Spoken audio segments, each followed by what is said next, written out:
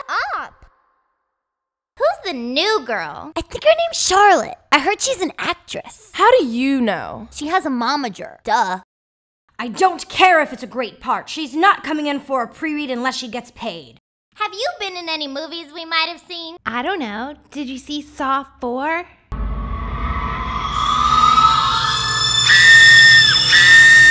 Most of my work has been in commercials. Cupcakes are hot. That's okay. I heard you can make a pretty good living off commercials.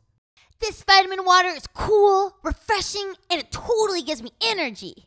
Totes! Okay, students, time for a pop quiz. We have a conference call in seven minutes. Can we push this to Thursday afternoon? No. But, Mr. Teacher, if I don't take the quiz, I'll fail. And then Daddy will lock me in the basement again.